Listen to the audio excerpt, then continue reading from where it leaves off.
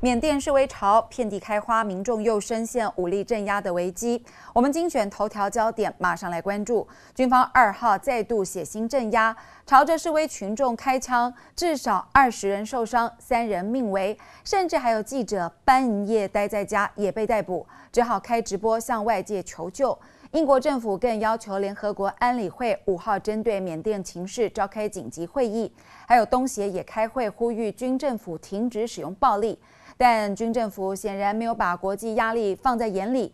继前一天翁山被添上两项罪名之后，缅甸总统也背上两条新罪名，其中包括违反宪法。仰光街头枪声大作，持续几十秒，民众惊慌逃窜，场面混乱。缅甸的反政变示威演变成为暴力镇压。在东北部城镇卡尔，安全部队向手无寸铁的老百姓寄出水炮车、催泪瓦斯攻击。当地医师粗估，至少有二十人受伤，其中三人被实弹分别击中腿部、胸部和腹部，性命垂危。给家王平！给家王平！从自家阳台高声呼救。缅甸民主之声记者二号晚间在军方闯入抓人时直播求援，连同他在内已有多名记者因为拍摄街头抗争而被逮捕，甚至知名作家占星师只要批评军方就会成为眼中钉，一个一个被消失。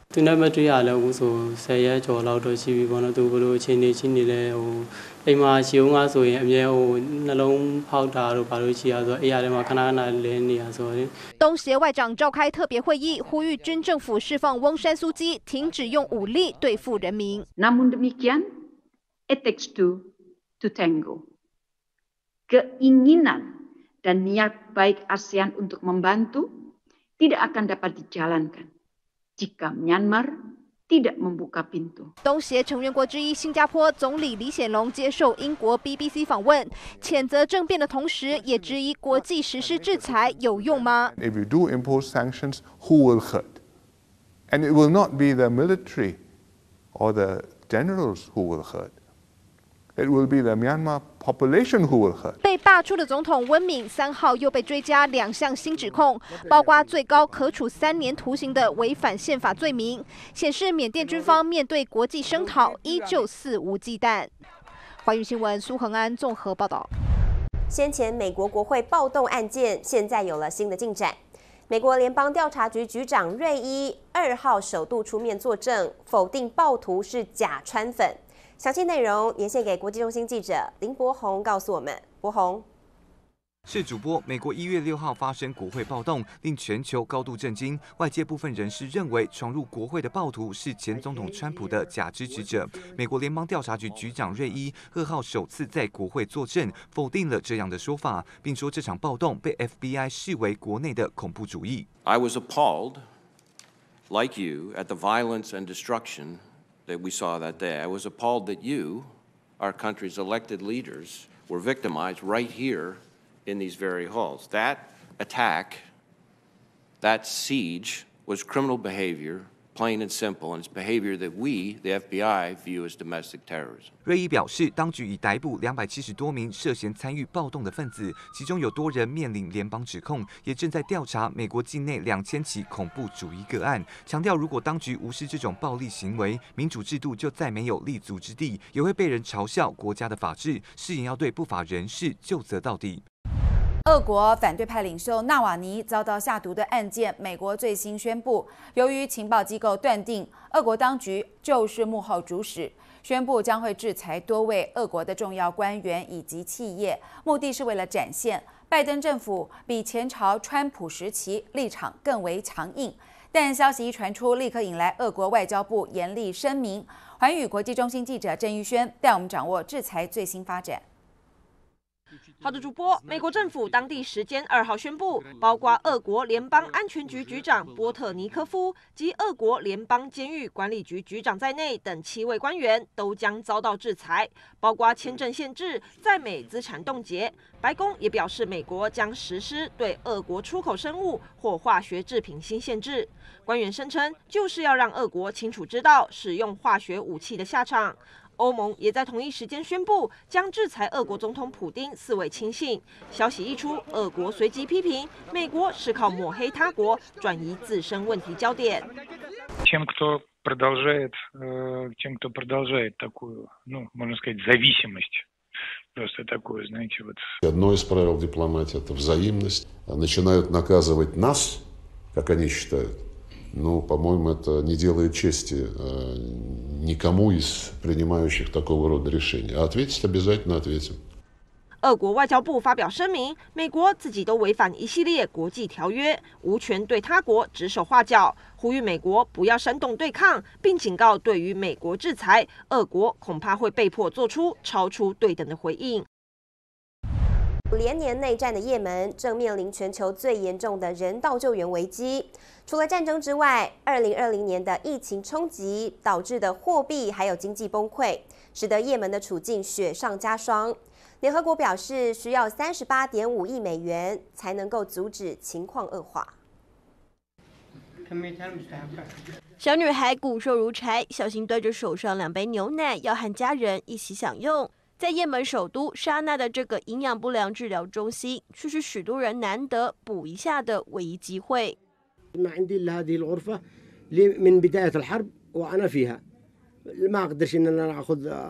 غرفة ثنتين غرف ثلاث غرف ما أقدرش ما معي هذه الغرفة لي ولا زوجتي وبناتي 找不到工作，只能勉强糊口。这一家四口只能够窝在一个小房间。持续六年的内战让也门人民饱受摧残，经济更倒退超过二十年。For most people, life in Yemen is now unbearable. Childhood in Yemen is a special kind of hell. Yemeni children are starving. 联合国更警告，也门已经是世界上最大的人道主义危机，八成的人民期待援助，四十万名五岁以下的儿童恐将因严重的营养不良而丧生。If we continue like this, uh, Yemen as a country will be very difficult to to rebuild. Uh, if if more assets get destroyed and people become poorer and poorer and it becomes almost like an unviable state. 为了应对也门的人道危机，联合国表示需要投入三十八点五亿美元。一号更特地举办线上认捐会，结果却只募得十六点七亿美元，连一半的金额都不到。主因是波湾国家捐助的金额不如以往。This does not solve the problem. Uh, we're disappointed in the outcome. Um, it's going to be impossible with such limited resources to prevent. A large-scale famines. 联合国指出，光是要避免也门超过一千六百万人面临饥饿，就需要十九亿美元。更表示，几个月后将再次举办募款会议，希望能及时挽救也门，免于陷入数十年来世界最严重的饥荒。华语新闻，陆巧平综合报道。二零二一年的胡润全球富豪榜在三月二号出炉了。特斯拉执行长马斯克以将近五点五兆台币的身价挤下了亚马逊 CEO 贝佐斯，首度成为胡润榜的世界首富。还要带您揭晓谁是亚洲首富，把时间交给记者林博宏，博宏。是主播，世界首富换人做了吗？二零二一年胡润全球富豪榜出炉，电动车大厂特斯拉执行长马斯克一年里增加一千五百一十亿美元的财富，相当于四点二兆台币，身家达一千九百七十亿美元，相当于五兆四千九百多亿元台币，首度成为胡润榜上的全球首富，挤下先前蝉联三年榜首的亚马逊执行长贝佐斯，身家达一千八百九十亿美元，相当于五点二兆台币。此外，第三到五名依序是明瑞轩尼诗、路易威登集团掌门人阿尔诺、微软公司共同创办人比尔盖茨以及脸书执行长祖克伯。至于亚洲第一首富，就是中国的农夫山泉创办人钟闪闪，他以身家达八百五十亿美元，约两兆三千七百亿台币，名列第七，成为首位挤进全球前十的中国企业家。钟闪闪当过建筑工人，去年在香港首次公开募股筹资十一亿美元之后赚进财富。根据这项最新统计，中国去年创造两百五十九名身家超过十亿美元的富豪，人数超过世界其他国家的总和。主要原因就是股市蓬勃发展，以及大量的新上市公司出现，减缓了新冠疫情对富豪财富所造成的冲击。美国现在集中火力，全民拼试打疫苗，而总统拜登就宣布啊，默克药厂将会协助生产交生疫苗，对外更是挂保证，五月底就足够全美的成年人施打。美国全力冲刺疫苗产量，总统拜登一现身，又公布振奋消息，预计到五月底，新冠疫苗将足以让所有美国成人施打。About three weeks ago, we were able to say. That we'll have enough vaccine supply for adults by the end of July. And I'm pleased to announce today, as a consequence of the stepped up process that I've ordered and just outlined, this country will have enough vaccine supply, I'll say it again, for every adult in America 比原先计划提早两个月，拜登宣布援引国防生产法，让制药厂两大劲敌携手合作。默克会协助交生制造新冠疫苗，交生自己也将进入二十四小时体制，产线全天不中断，将有助大幅提升产量，弥补交生先前落后进度。根据统计，到二月底为止，全美有四千九百七十七万人接种至少一剂疫苗，占总人口的百分之十五，其中两千四百七十七万人完成。两剂接种。不过，邻近的墨西哥疫苗供应情况陷入瓶颈。总统罗培兹一号跟美国总统拜登视讯会谈，亲口要疫苗却遭到拒绝。随后，白宫开记者会表示，拜登政府的防疫重心主要都放在全美民众，强调美国优先，暂时无法分享疫苗。全球争抢疫苗，墨西哥总统罗培兹一号亲自出马，向美国总统拜登视讯要疫苗，却碰了软钉子。No, uh, the president has made clear that he is focused on ensuring that vaccines are accessible to every American. 法新社报道，美国目前接种计划是取得七千六百万剂的疫苗量，确保两成人口完成两剂接种。不过，面对盟友，拜登政府态度很婉转。But our focus is on his focus, the administration's focus is on ensuring that every American is vaccinated. Uh, and once we accomplish that objective, we're happy to discuss.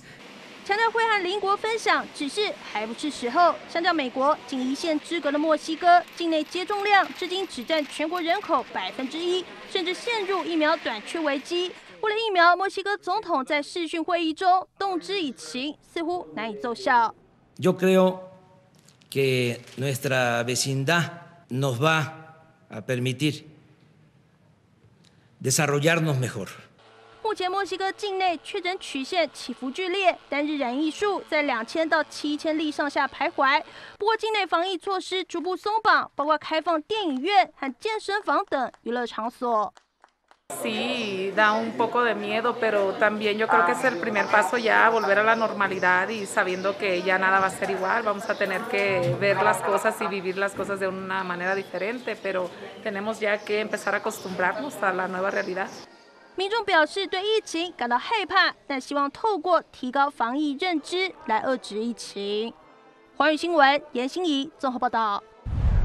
防疫也是日本的当务之急。由于东京疫情降温的速度缓慢，媒体指出，东京都跟周边三个县将会主动要求中央政府继续延长紧急状态两个礼拜。日本首都圈东京一都三县紧急状态即将在本月七号期满，但日本经济新闻报道，根据多名相关人士透露，东京都因为考量到新增病例减少速度趋缓，担心解除之后疫情会再度升温。东京都知事小池百合子预计和千叶县、神奈川县以及埼玉县开会协调是否继续延长，再跟中央反映。这一都三县的居民人数大约占日本总人口的三成，特别是东京奥运将在七。月二十三号开幕，距今剩下不到一百五十天。不过，东京奥运圣火预定本月二十五号从福岛开跑，所以延长时间可能以两周为限。政府本周也将召开专家咨询会议，按照新增感染人数和病床使用率进行评估，由首相菅义伟做出最后决定。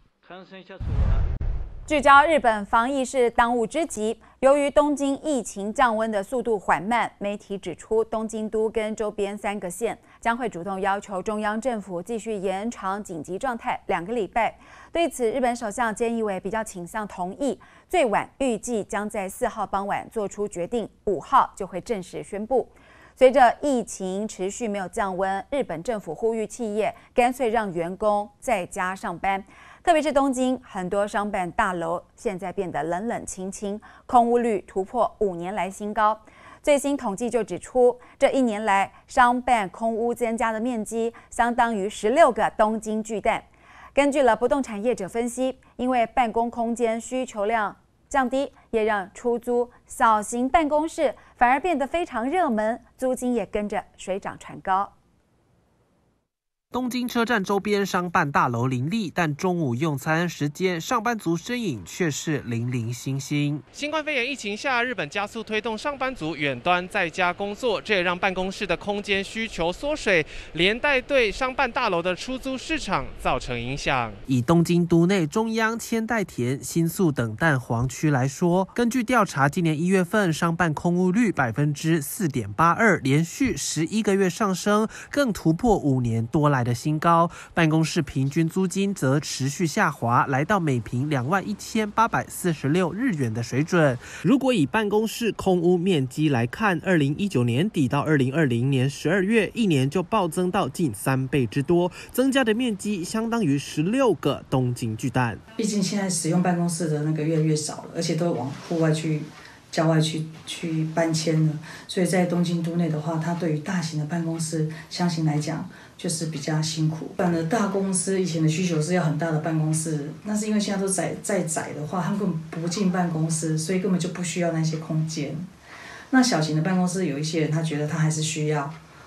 需要在公司里面稍微商讨一下什么事情的话，都市大型商办需求萎缩，相较之下，小型办公室逆势上涨。根据日本业者统计，疫情开始后，二零二零下半年度，东京主要地区五十平以下的小型办公室平均租金比前年同期上涨百分之一点一，二十五平以下的超小型办公室则上涨百分之一点五。出租物件数量在去年第一次紧急状态解除后也急速增加。因为我在想。这个疫情大概在人的脑海中应该会还是会记忆记忆还是蛮深的，所以可能会还是大家还会比较担心，因为房租毕竟是最大的成本嘛，暂时还是会分享的这种东西，或者小型办公室应该会是比较热门。业者预估小型商办热潮短时间还会持续，但反观一栋栋的超高商办大楼，在疫情还看不见终点的情况下，显得格外冷清。华语新闻十序号日本东京采访报道。在德州疫情减缓之后，二号州长签署行政命令，允许企业全面复工、恢复营业。最新消息，我们交给环宇记者林博宏带我们了解。好的，主播。美国近日逐渐走出疫情阴霾，德州每日新增病例数也稍有减缓，从每日新增超过一万多例降至七千例以下。德州州长二号签署行政命令，允许企业全面恢复营业，也不再强制民众佩戴口罩。So today, I'm issuing a new executive order that rescinds most of the earlier executive orders. Effective next Wednesday, all businesses of any type are allowed to open 100%.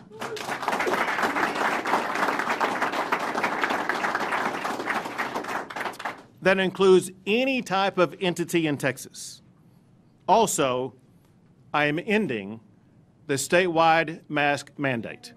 艾伯特在记者会上表示，德州目前失业人数倍增，企业产能缩水，而目前当地疫苗接种人数创新高，促使州长认定是时候开放德州了。然而，根据统计，德州目前累计的新冠病例数仍达两百六十七万多人，仅次于加州，高居全美第二，还不能对疫情掉以轻心。艾伯特强调，取消口罩的佩戴令不是终止个人的防疫责任，只是不再需要国家下达的强制令而已。根据统计，除了德州之外，包含密西西比州。路易斯安那州、密西根州等也都已经取消口罩的强制佩戴令。尽管艾波特已经签署行政命令，白宫抗疫小组高级顾问斯拉维特仍表达不同意见，认为戴上口罩并不影响德州经济，希望艾波特重新考虑此项命令。镜头转到美国，全美疫情最严重的加州，随着疫情降温，现在也要想办法赶快啊，让这个孩子重返校园。州长纽森宣布要大撒币，花费六十六亿美元帮助公立校园重新开放。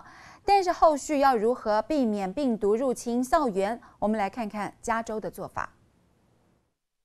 草皮上搭起五颜六色帐篷，父母带着小孩就坐在里面读书写功课，面前还摆了张卡片，写着“我想念学校”。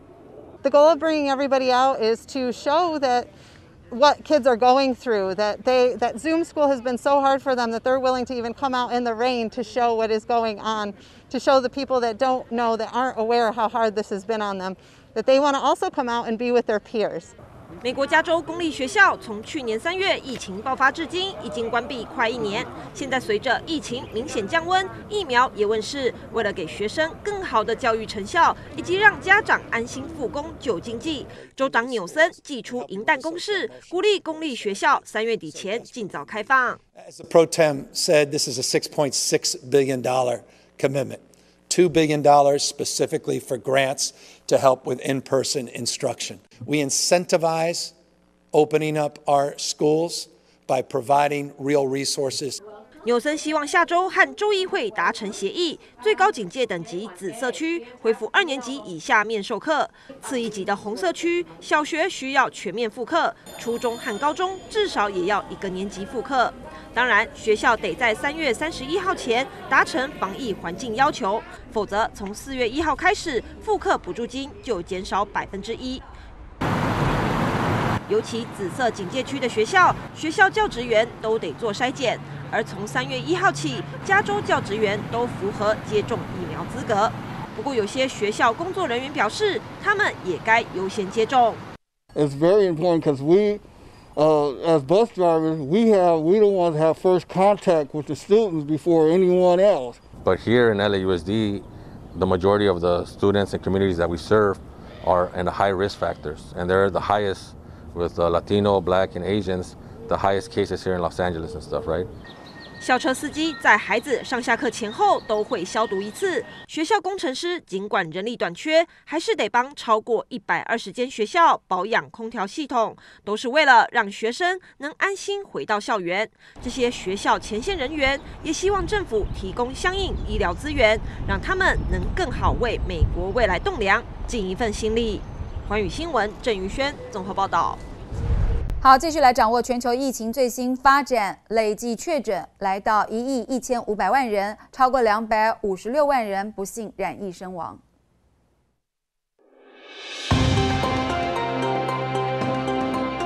华语新闻带您观察各国疫情曲线。美国曲线走势持续下探，上周高峰一天确诊超过八万例，最新通报五万六千多例。总统拜登宣布，到五月底前，疫苗产量就足够让全美成年人施打。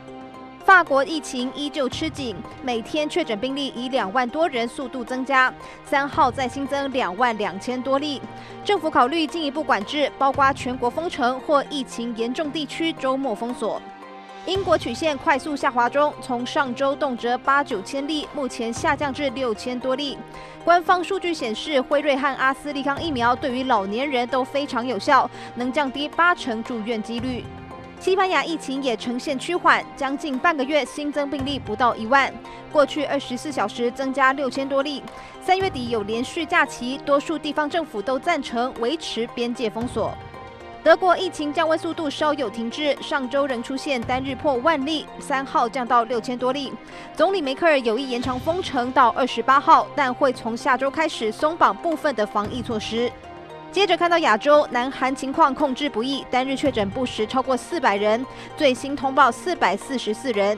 近日首都圈超过九十位移工染疫，已着手对将近四千名外籍人士筛检。日本情况见有起色，三月起新增病例都在千人以下，过去一天增加八百八十八人。但东京不敢贸然解封，考虑请求中央把紧急状态延长到本月下旬。印尼曲线震荡下行，一周内从八千多人确诊下降到六千多，三号再下探到五千多例，只是其中两人遭到英国变种病毒感染，也是变种病毒株首度入侵。越南近期疫情稳定，最低一天只确诊个位数，最新有二十四人染病。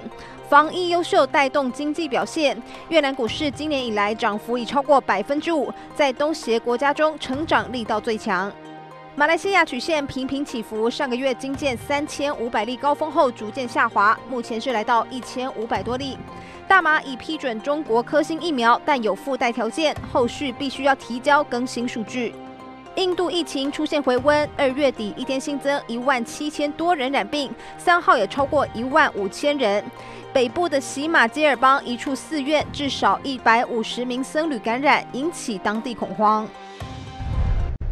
非洲奈及利亚的电影产业蓬勃发展，而奈利乌就属于当地最大制片中心。为了要透过电影传递各个文化之间的差异，有制作人特地加入了印度宝莱坞色彩，借由婚姻与爱情故事带起创新话题。This is Raj, my cousin, and he's an investment banker. And he's single. And this is Didi. She's a sweetheart. She's a lawyer, and she's very, very single. 印度结合非洲风情的爱情喜剧片，才一试出预告片就获得两地观众热烈关注。The trailer, um, there were 5.2 million views on Facebook already. You can have a look at that. Uh, on Twitter, within a day, there was already over a million. 近几年，非洲最大电影发源地奈及利亚的奈利乌发展规模不断扩大。这次制片业者参考宝莱坞特点，加入印度色彩。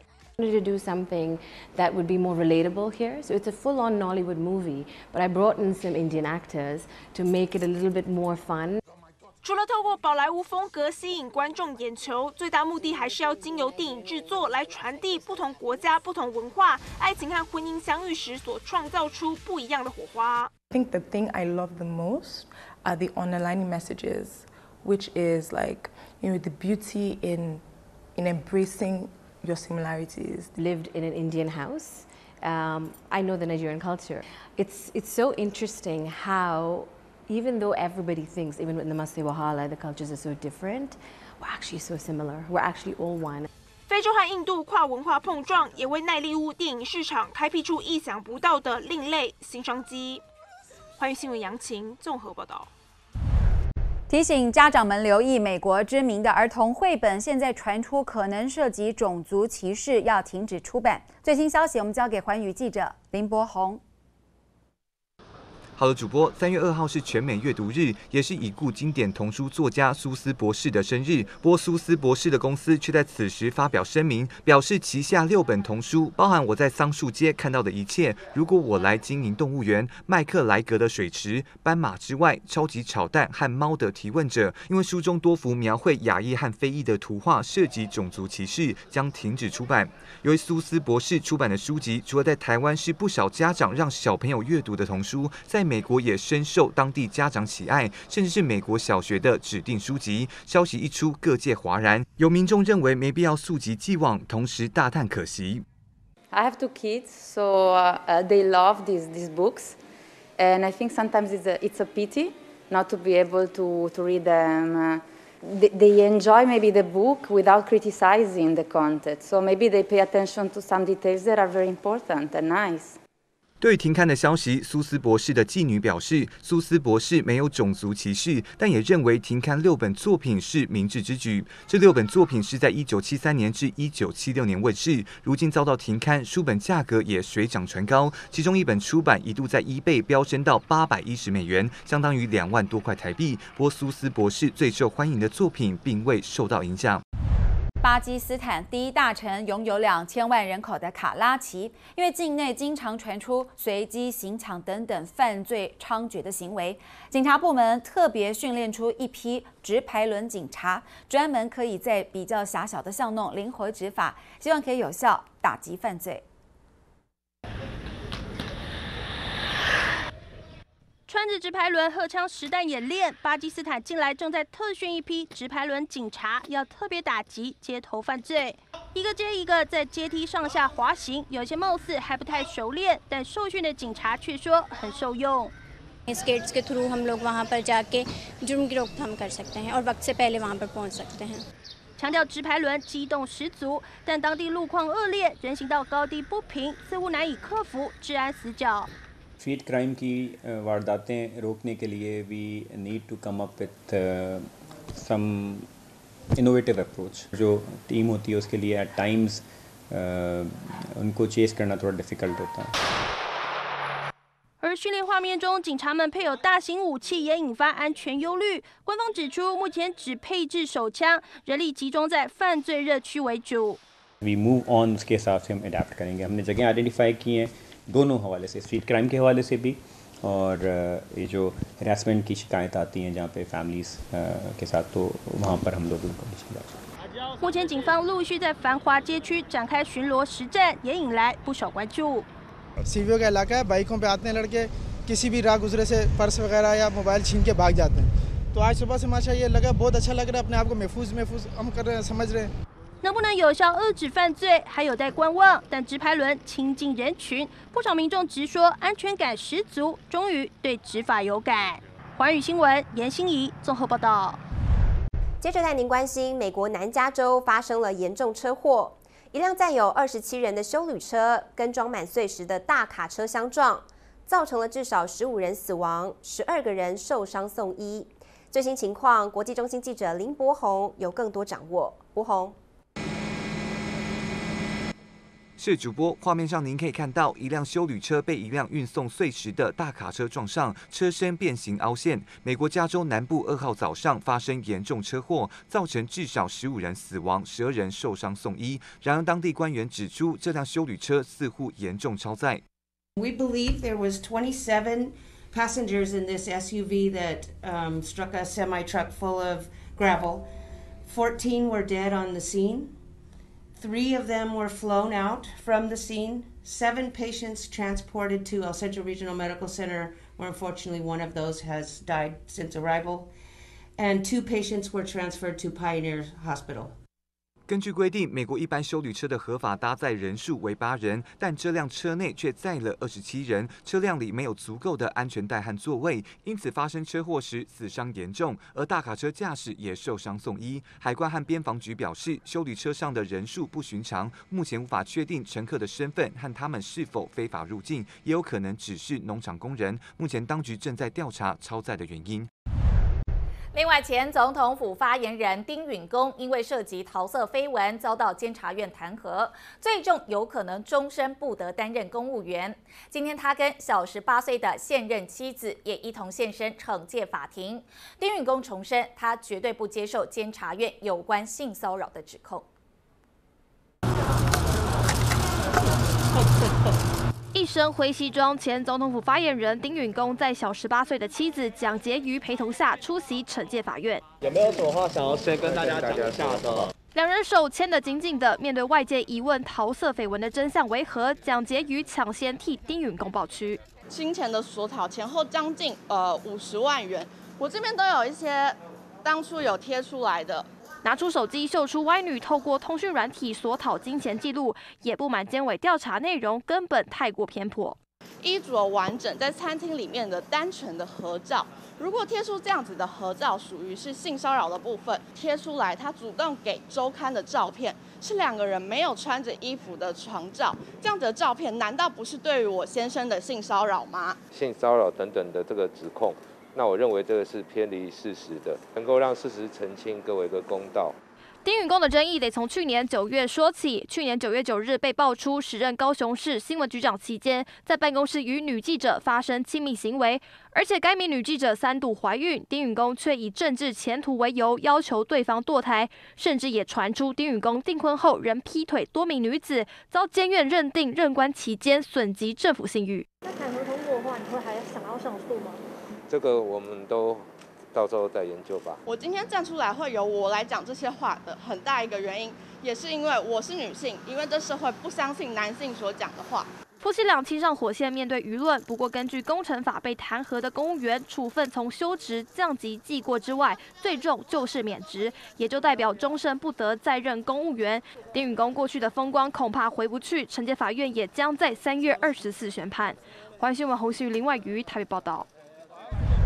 再来关注，等了好久，台湾首批新冠疫苗终于到了。今天早上有十一点七万剂 A Z 疫苗送到台湾，指挥中心证实，这批疫苗并非是来自疫苗平台，而是台湾订购一千万剂疫苗的其中一部分。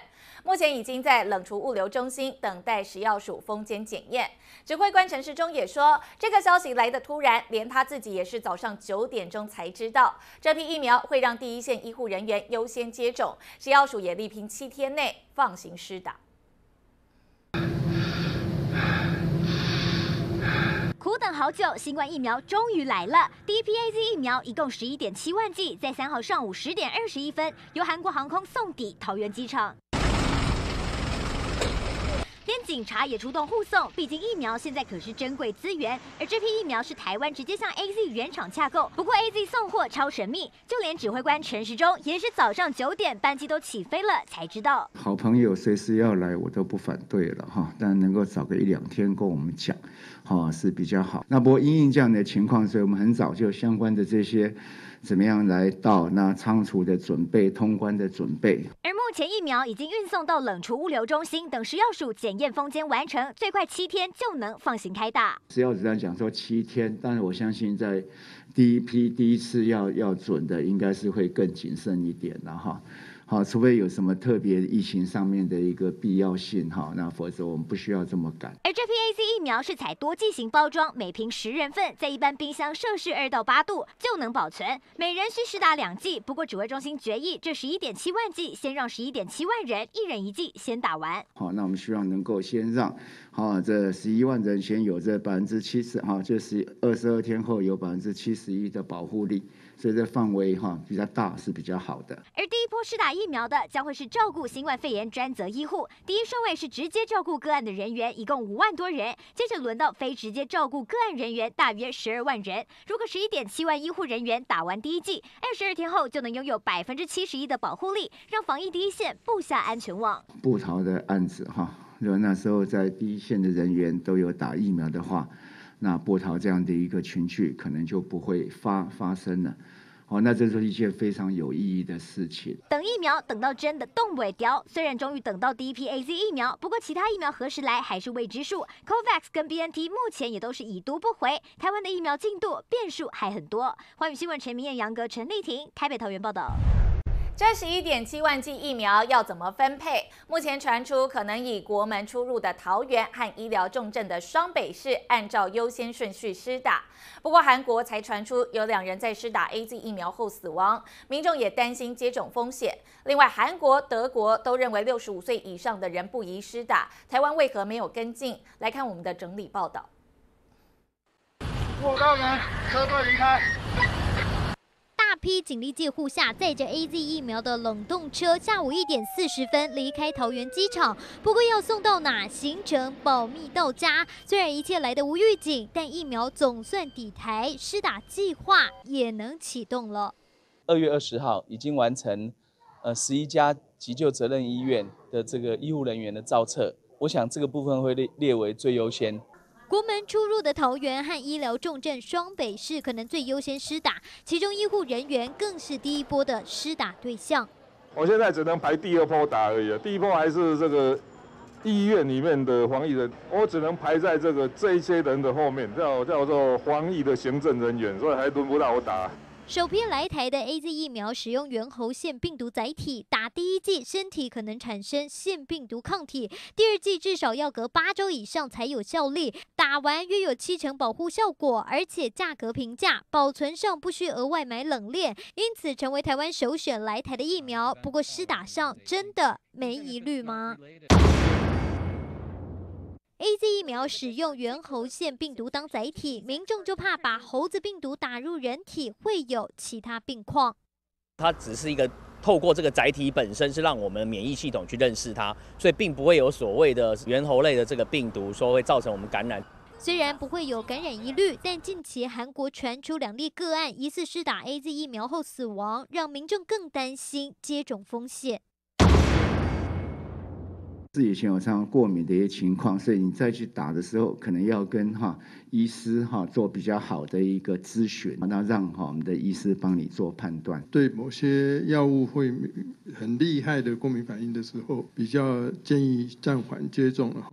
简单来说，自体免疫系统疾病者、怀孕妇女和年纪太小的，因为临床资料少，都不建议接种。而各国在六十五岁以上施打状况似乎也不一样。世卫组织公布，A Z 疫苗不分年龄都能打，但韩国、德国只开放六十五岁以下施打。那台湾呢？他认为临床的数字不足的情况之下，所以暂时不予施打。但是这并不代表说对六十五岁以上，甚至七十五、八十以上的这些呃这些成年人的效果是没有的。十一点七万剂的 A Z 疫苗得经过品质检测和取样检查，拿到疫苗身份证，最快七天后，第一线医护人员就能够开始施打。黄宇新闻，郭燕婷、陈明燕、黄玉竹，台北、桃园报道。虽然第一批疫苗才来十一点七万剂，不过也让台湾疫情解封露出曙光。包括美国德州解除口罩令，英国、日本等国都因为施打疫苗后逐步放宽解封。台湾预计何时可以解封呢？专家分析，虽然世界各国开始施打疫苗，但还是要看台湾的施打率、保护力以及对变种病毒的保护抵抗力等等。短期内还是不能轻易拿下口罩，否则可能会再度出现大流行。各国疫苗陆续开打，覆盖率也逐渐加大。美国德州更宣布十号开始取消戴口罩禁令，而台湾也拿到第一批 A Z 疫苗，距离解封不远了吗？还是会担心其他国家的应对措施或是什么之类的。六月到十月中间，全世界的疫苗，很多国家，包括欧洲跟美洲，达到超过五十 percent 以上的，那么这个时候来谈这个解封才有可能。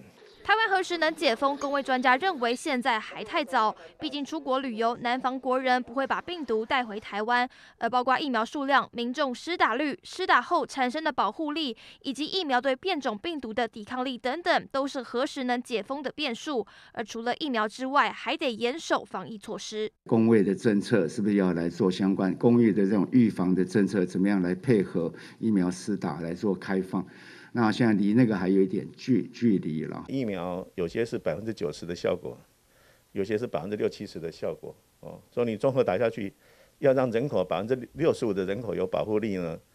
那么你目前拿到疫苗可能是不足够的，可能要到二零二二年了，说不定有机会勉强接近群体保护的这个那一条线。想解封出国，除了台湾疫苗覆盖率需达到六成五才有群体免疫效果，拿到第一批疫苗之后是消除台湾疫情的开始，距离抗疫成功拿下口罩那一天还有一大段距离。欢迎新闻红旭林外瑜台北报道。我们就来进一步探讨，十一点七万剂的 A Z 疫苗三号早上突然抵达桃园机场，连指挥官陈时中都说他也是早上九点钟才知道，这也引起外界质疑：疫苗来台，指挥中心真的事前完全不知情吗？甚至连疫苗落地后，却还是不愿意证实。可以理解指挥中心在争取疫苗过程中的困难，但是飞机都已经落地台湾了。官员们何以如此低调？是怕政治力介入，还是指挥中心完全无法掌握？难道不能让台湾民众先知道疫苗来台的进度吗？带您来看，我们这么说，News Talk。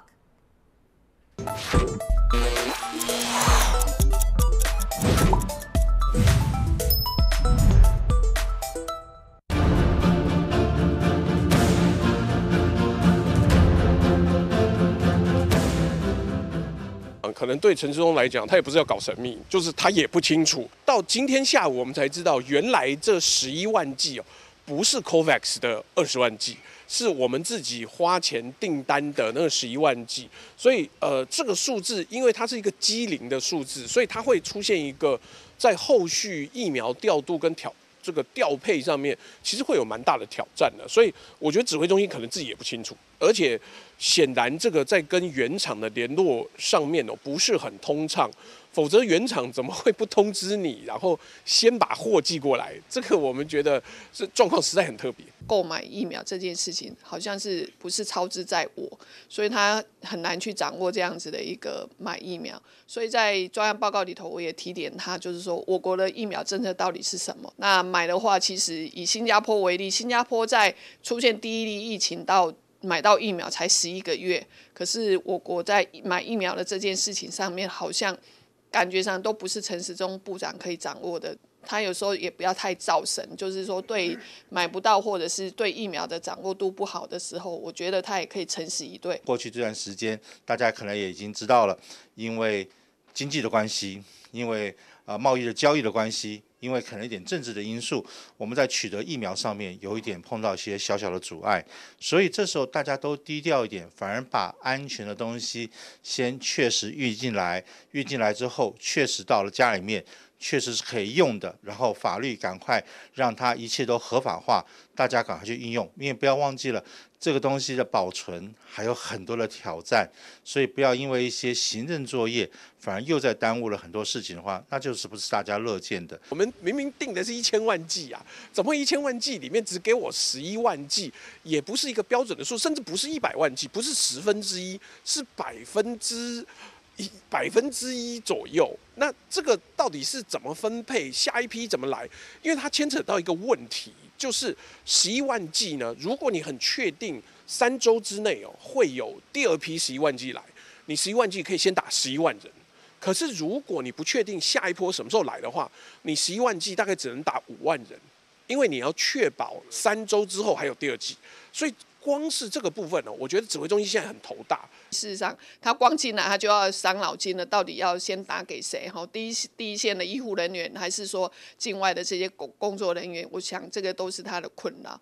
那呃，一样哦，就是说疫苗是大家国人所期待，我觉得他应该能够。定时的跟大家报告。那我们非常高兴乐见到这种情形哈，因为第一线的医护人员都是第一个会面临到这些挑战哈，尤其我们在国外现在很多还是进来，你可以看到最近的疫情多半都是从国外带进来的啊。医护人员第一个优打是一个很正确的方向，那当然第二个正确的方向应该还是在第一线，那他们在前面守的时候，我们在大后方才能得到一个非常安全的一个一个保障。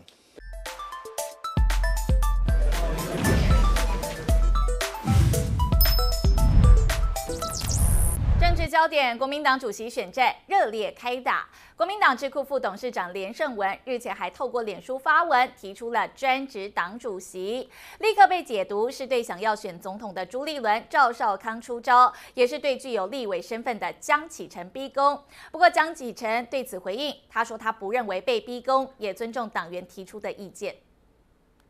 新年祝好，世代更好，世代更好。呼口号，国民党主席江启臣举办青年营，决心拉拢青年选票。不过，江启臣眼前面临的党魁之争，让他一个头两个大。连胜文脸书 Po 文表明，国民党主席无私很难吗？他认为未来的主席应定位为专职党主席，不应再去争取公职选举提名。换句话说，选总统、选立委都别想。这番发言也被认为是在逼宫江启臣。我没有，我觉得大家都是善意来来希望党更好。那至于说，呃，什么样子的条件呢？刚刚提到不管兼任、专任这些等等，过去通通都有惯例，也都有例子哈。那所以我觉得啊，好坏、优缺、利弊等等，我们尊重党员的判断跟决定。只是尊重多元意见，这恐怕也被认为是蓝营内斗不断。不要因为每个人有不同的一个意见，就认为这是一个内斗哦。民进党本身也有很多的声音啊。身为一个党主席，他应该更有很大的一个民意的基础。那民意基础如果担任公职的话，其实兼任也是一个可行。而且只要你把绩效做好，到底是专职或是兼职，这其实不是一个最重要的一个考量。国民党党魁选战七月开打，各方人马蠢蠢欲动，是走向分裂还是和谐共处？外界至今摸不着头绪。环宇新闻林志鹏、杨植玉台北报道。好，连胜文的发言被解读是在逼宫，也有不少人劝进他选党主席。连胜文今天也松口，表示会认真严肃考虑。虽然还没有正式宣布，但是连胜文的幕僚已经成立了新闻媒体群组，种种动作也代表连胜文参选的几率越来越高。从今天开始，我跟大家，我们会认真的、严肃的去考虑，我们会开始真的认真的去看待这个事情。认真严肃看待的就是要选国民党主席一事。国民党智库副董事长连胜文更主张专职党主席，被外界解读是逼宫江启臣。表达我们自己的理念为主，我们不想针对特别的个人，我们希望透过一个这个专职的党主席，来确保党内所有的运作，特别是总统提名这种公平、公正、公开。也希望这个党的主席能够花更多的时间，哦，专注在这个党的这个事务上面。提出多项主张，也看得出参选主席的企图心。不过，连胜文要挑战主席有哪些胜选条件，也成为讨论焦点。像是年轻有热忱，面对绿营战斗力强，加上连家人脉雄厚，以及老婆蔡医生形象良好，大加分。但由于连家权贵形象成为最大包袱，没有经营基层以及胜选的经验，如何带领国民党打赢选战，也是一大问题。所以，这个党主席如果说没有经过民意的考验的话，哈，或者是说这个选举的这个的话，可能大家也会觉得说，哎，那你是不是在打选战方面，哈？党主席就是你要把选举变成政党面的选举机器嘛，是不是会比较有疑虑？他第一个他很有热情啊，第二个他对国民党有使命感，每次的大小选举啊，他几乎是认识的不认识的，然后跟他邀约去助选辅选。他都尽可能的答应大家，所以从农从南到北，从东到西，甚至外岛都跑透透，所以跟很多各地的候选人、县市长都维持不错一定的交情。连胜文会不会挑战党魁，几率越来越高，也让国民党七月党魁大战再度埋下变数。欢迎新闻林志鹏、杨芷玉台北报道。再来关注中国进台湾凤梨事件延烧，除了台湾民众团结用新台币力挺凤梨，蔡政府也展现挺农民决心。总统蔡英文更是合体南部四县市首长召开挺农民记者会。蔡英文强调，面对不合理的贸易规范，台湾人民要更团结，要组成凤梨台湾队。拿着一大盘凤梨分给大家吃，台南市长黄伟哲特地北上推销凤梨，强调这可是台南的甜度。比全南还甜。不止黄伟哲，高雄市长陈其迈、嘉义县长翁章良、屏东县长潘孟安，绿营南部大头齐聚，在凤梨事件爆发后，首度合体，总统蔡英文要挺凤梨农民。啊，民进党最重要的支持者哈，啊，都是在过去都是在南部，好，他是跟我们。凤梨分布的版图是完全百分之百重叠啊，所以支持民进党啊就要吃凤梨啊。我们这几天哈，在至少一个礼拜哈，应该把我们的党徽里面中间那个台湾哈，把它改成凤梨哈。连党会都能拿来开玩笑。陈其迈提到挺民进党就要挺凤梨，还有潘孟安也拿出凤梨 logo 纸袋挂在脖子上叫卖，连蔡总统都啧啧称奇。刚才在旁边仔细的听，发现说，哎，我们这位四位首长不但会选举，而且还蛮会卖凤梨的哦。绿营县市首长使出浑身解数，因为看看台湾凤梨田大多分布中南部，其中又以嘉义、台南、高雄和屏东为大宗，占了全台湾产量的百分之七十四以上，正好是民进党执政区域。外界解读中国进凤梨是要给绿营下马威。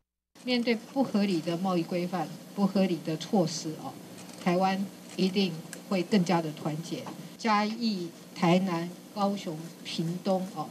呃，组成的凤梨台湾队哦。蔡总统当母鸡，带着四位县市首长要组凤梨国家队，展现挺农民的决心。欢迎新闻林伟徐正海中台北报道。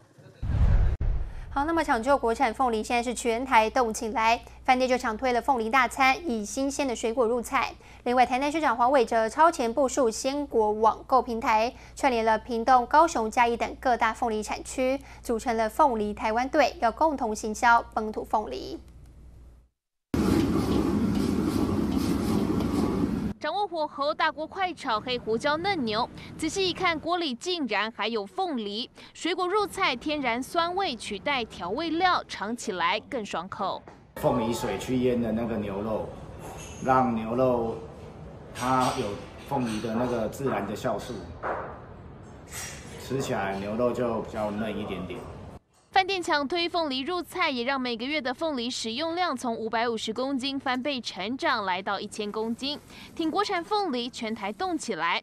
台南市长黄伟哲超前部署，推出网购平台，整合销售，力推本土凤梨。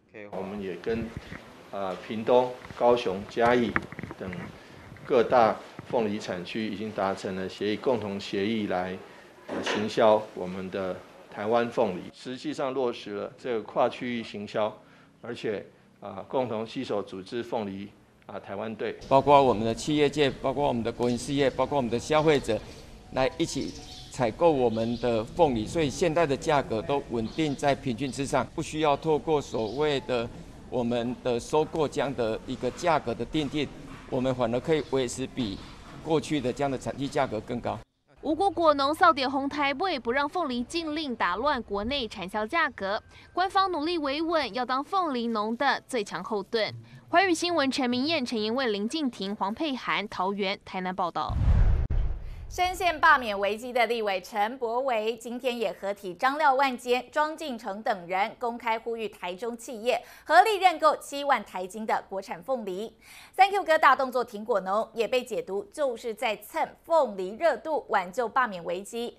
陈柏维也自嘲，他说自己就像是要被国民党下架的台湾土凤梨，不能坐以待毙。将来红台湾。立委陈柏惟、张亮万坚、庄敬成排排站，号召台中企业认购七万台斤国产凤梨。三 Q 哥动作很大，也难掩蹭凤梨禁令的热度。难道是意在挽救罢免危机？不管有没有罢免，也不管有没有疫情，该做的事情我们本来就有在做。这些点点滴滴都会累积啊，大家会看到。这眼经过丢光都门的这个肯定好啊，你要来罢免这个。就是报复性罢免嘛，哈，政治性罢免就是没啥意思。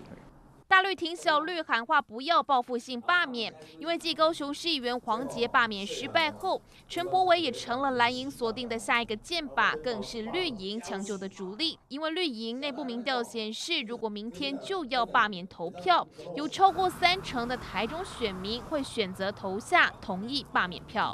联署跟推动的部分的话，民众都是自动自发，然后就是。来完成之后，然后再去找更多的人一起过来。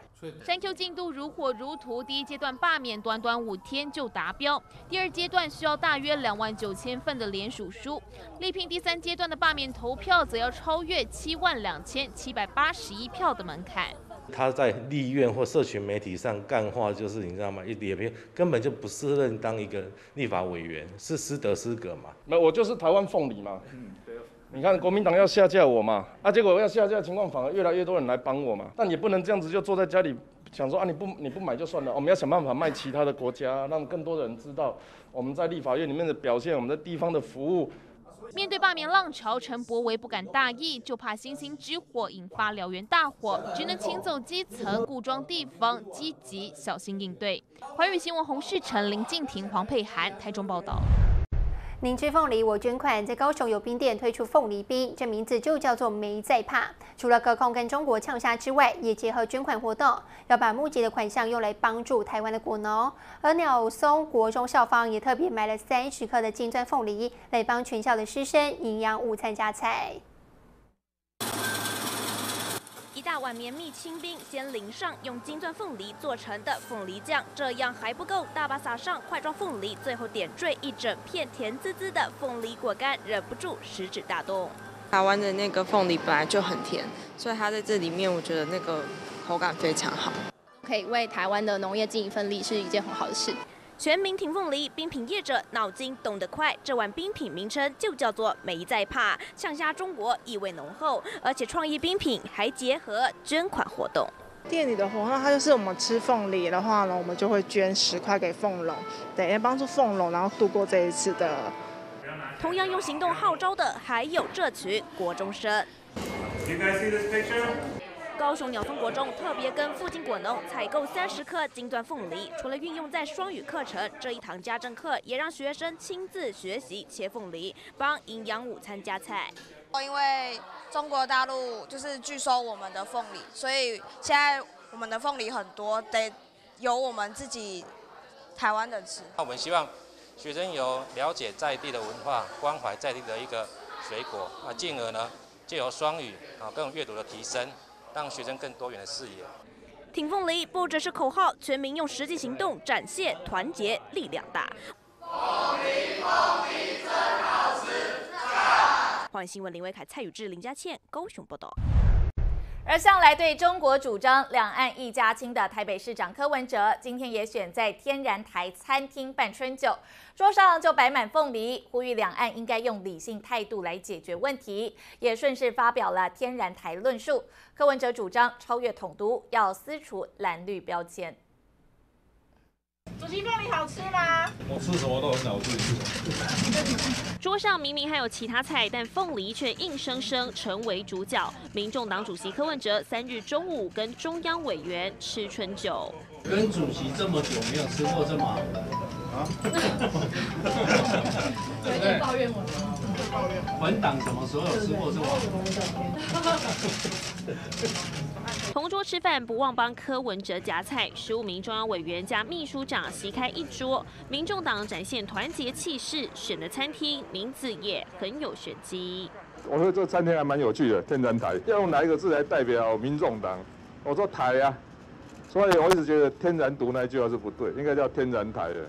不满近日遭贴小蓝小绿标签，柯文哲重申天然台论述，希望能够超越统独。只不过一向主张两岸一家亲的他，面对中国打压台湾凤梨，这回也硬起来。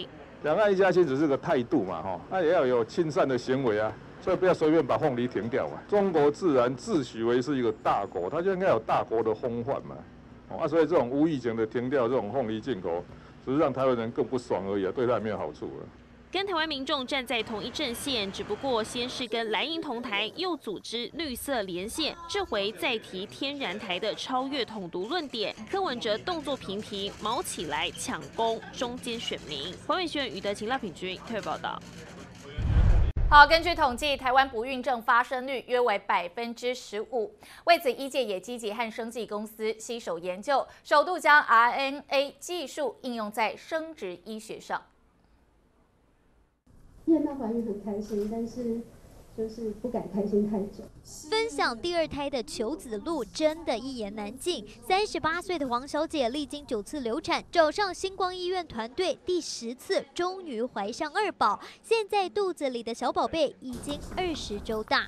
我看了很多医生，大部分都说是没问题，都几率就是看到超音波上面的宝宝是不会动的，然后没有心跳的，就是。其实那记忆是很深刻的，然后我会觉得说，呃，很希望再把宝宝生回来。不敢相信，三十三岁顺利生下第一个男宝宝后，隔年再怀孕，却一直保不住孩子。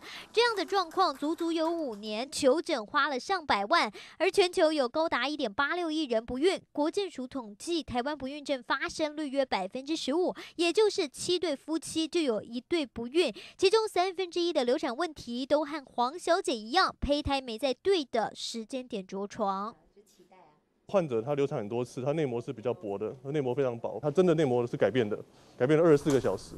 那这二十四个小时之后，我们就依照这个检验的结果然后，延后二十四小时植入，也就顺利成功了。然后这项技术 micro RNA，也就是为核糖核酸支持基因调控，近期大量应用在新冠疫苗上，这次首度用在生殖医学检测，找到着床最好时间植入胚胎。检验技术的话，就是说可以去分析说这个着床时间。精准到小时了，找出了真正的原因，找出最适合走上的时间，不需要再任何额外的医疗。首度将 RNA 技术应用在生殖医学上，未来渴望为更多不孕症患者带来生育曙光。环宇新闻郭燕婷、黄韵竹台北报道。产业焦点，面板大厂群创光电暌违三年再度举办实体法说会。受到疫情冲击，宅经济发酵，也让面板需求畅旺。去年第四季大赚八十四点四亿元，转亏为盈。Has built the world's largest 120-inch TFT LCD 8K TV. 一百二十寸超大荧幕搭载 Mini LED 背光显示技术，展现逼真解析度。疫情促使宅商机爆发，也推升面板高度需求。呃，大家最好奇的就是今年一整年的面板产业的景气怎么样？那如同上面我们写的是，啊，今年一整年面板的供需仍啊供不应求。大家所提到的，不管是 work from home 或者 education from home，呃，最重要，我们认为它是一个呃对于产业结构性的一个改变，就说面板业可能不再像是过往随着景气的这个上下波荡的震动而已。暌违三年，面板大厂群创召开实体法说会，这也是董事长洪敬阳的处女秀。受惠需求畅旺，市况可望，先蹲后跳。拉长时间观察，二零一九年出货量一点六三亿片，二零二零年受疫情影响衰退到一点四一亿片，二零二一年有望冲上一点五五亿片。面板景气转好，偏偏眼前又有缺料、缺工、缺货柜，三缺大考验。那同时呢，原先我们有一些 buffer 的库存，我们当然现在呃前价的不搞，当然不了跑光，那我们就得快速的大中小不同世代。自己做调度。走过低潮，面板双虎营运也报喜，友达去年第四季大赚八十四点四亿元，EPS 零点八九元；群创去年第四季净利一百零一点四亿元，每股营运一点零四元。我们的毛利率，我们觉得我们还可以再往上挑战。非显示器产业的营收渐进式的拉大。刚性需求助攻，展望二零二一年，杨柱祥给了营运乐观谨慎的处方，也替面板市场打了一剂强心针。环宇新闻王家姐、李丽婷台北报道。请您继续锁定环宇新闻网以及 YouTube 环宇新闻频道，并且记得订阅、开启小铃铛，接收更多全球新闻报道。